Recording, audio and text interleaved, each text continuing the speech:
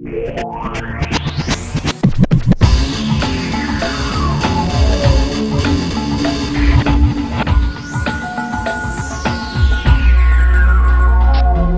seize this moment, we have to use technology to open up our democracy.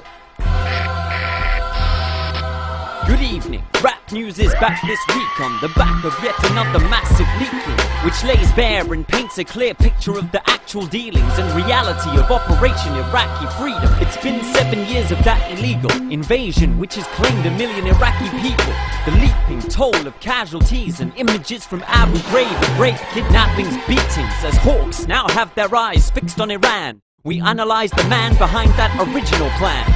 And these very events, presenting our first guest, Donald Rumsfeld, Secretary of Defense. Mr. Rumsfeld? Hi there. Welcome down to the station. In light of this revelation, how do you feel now about the invasion? This isn't new information, and it was liberation. Iraqis are now free to play soccer PlayStation. What about Abu Ghraib and the allegations, not just of humiliation, but of savage raping? My actual statement is the military and the killing scene is at liberty to blow off a little steam. If you remember, the Iraqis had WMD. Doesn't it trouble you that you failed to find any? Well, steady, I never said Iraq had weapons, you know. Yes, you did. You said that exact fact a second ago. You know, there's things we know and things we don't know. And the knowns we know we know are known as known knowns. Things we know we don't know, which are known as no-nos among the knowns, and the no-nos we know go with the don't knows. I don't know. Intelligence was distorted and cynical, scorned and ridiculed, support for your war was minimal. Won't history judge you as a war criminal? We'll write the books. They won't be at all critical. This interview's over. General? Get it, boys. Hey, ow! Ow! Ooh, ooh. Take him away. He's pitiful. With pleasure. Now to shut rap news down forever.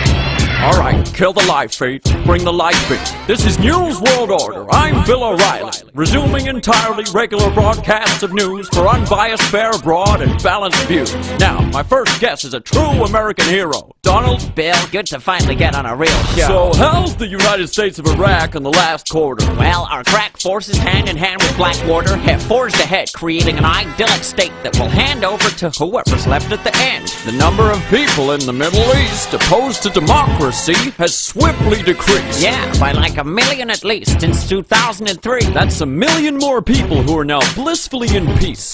And WikiLeaks? Bill, please, don't get me started on those frickin' cyber geeks. What gets me is these hippies keep criticizing the military when the military keeps them living free from tyranny, terrorists, and nuclear bomb threats. They seem to have a military-industrial complex, and this Julian Assange makes his foolish demands as the blood of Afghanis pools in his hands. A lot of people are saying he's ruled by his glands, that he kidnapped schoolgirls and abused them in Iceland. But now, a word from our sponsor. We'll be back pretty fast with the former Secretary of kicking Ass.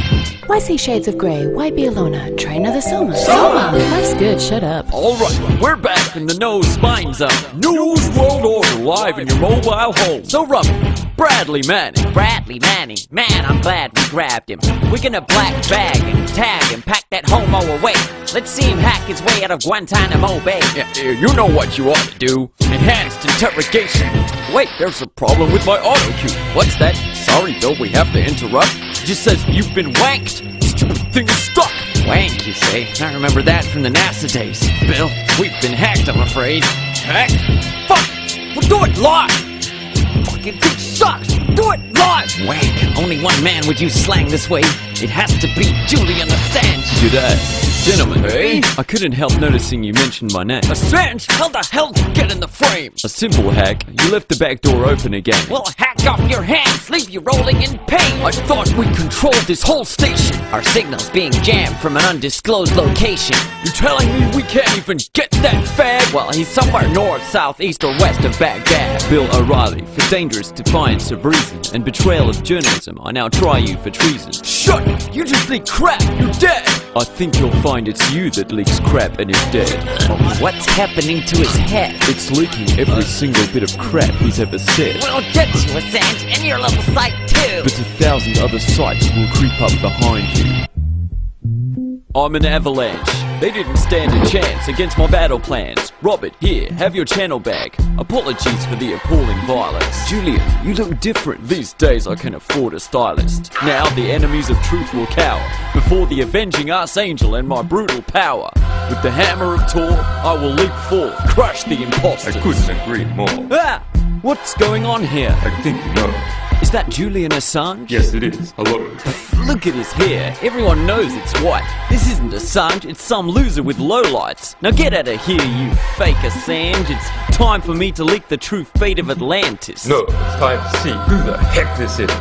Terrence Moonseed. Gat, you pesky kids! Well, I think it's time to end this session. It seems journalism's become a dangerous profession, risking ostracism, extradition to provide a clear picture of the world we live in. But without truth, history will certainly repeat the same wars in this time of universal deceit. Telling the truth has become a revolutionary act, so let us salute those who disclose the necessary facts.